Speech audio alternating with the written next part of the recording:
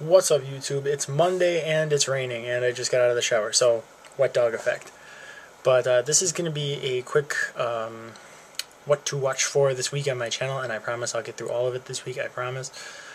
Um, going to have maybe another minor binder update. I might just show cards that are changed, like what I have now and what I don't have anymore.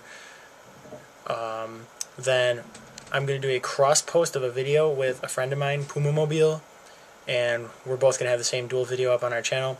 So I will link you guys to him when that day comes, and you can enjoy the match on both of our channels and go check out his channel because he's got a lot of cool things going on in his channel.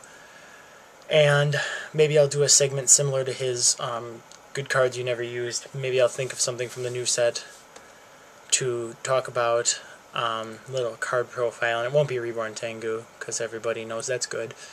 So watch for all those little things and uh, you know keep messaging me offers about my binder and i'll let you guys know what all changed as the week progresses and we'll talk to you soon. Peace out youtube